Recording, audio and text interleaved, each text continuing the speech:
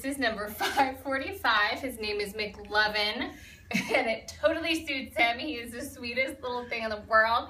He's only about six or seven months old. He's a male lab mix. Oh my goodness, I'm nice and small and I won't get much bigger. I fit in laps perfectly. Yes. He's located at Clayton County Animal Control and he needs to be pulled by a rescue group or an adopter by Monday to save his life.